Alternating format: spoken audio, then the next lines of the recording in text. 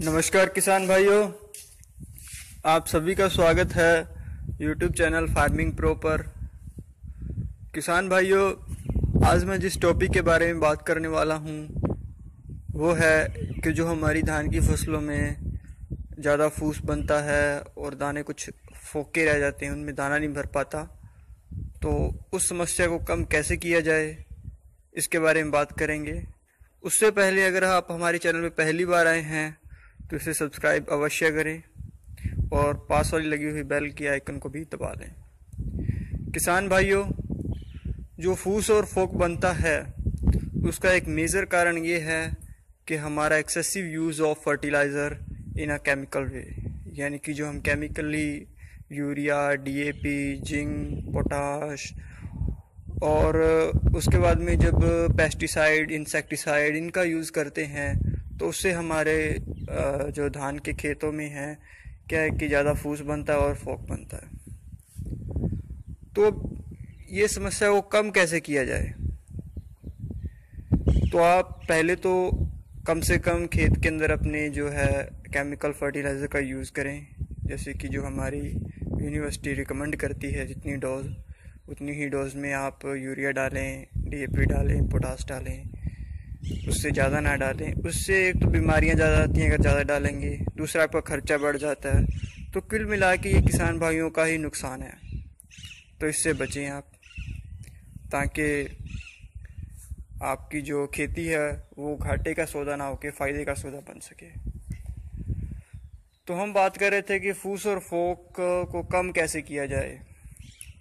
जो फोक बनता है, यानी कि कुछ दाने खाली रह जाते हैं, पूरी तरह से भर नहीं पाते, उनको कम कैसे किया जाए? उसके लिए एक तो किसान भाइयों, जो निसारे का जो टाइम होता है हमारी फ़सल के ऊपर, उस समय खेत के अंदर पानी भर कर रखें, पानी की कमी ना आने दें। ज़्यादा पानी की कमी आने के कारण भी कुछ दाने खाली रह जाते हैं, जिनमें पूरी तरह से चावल नहीं भर पाते, और उससे क्या है कि जो हमारा फोक है, वो ज़्यादा बन जाता है।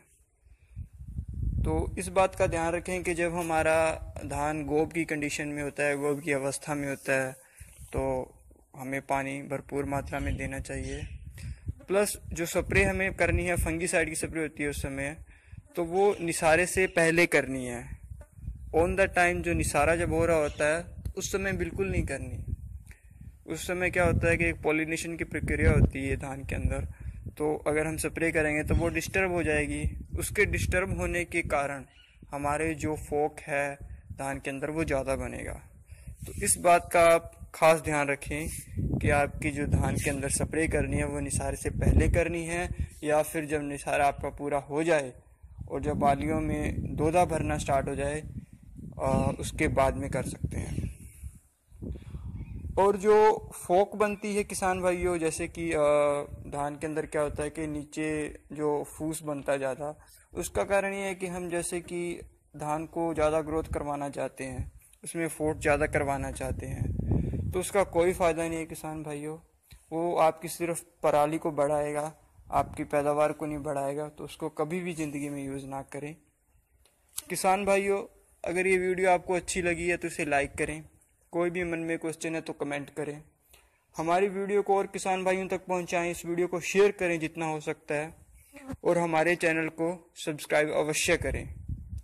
धन्यवाद किसान भाइयों। बहुत बहुत शुक्रिया आपका इस वीडियो को देखने के लिए।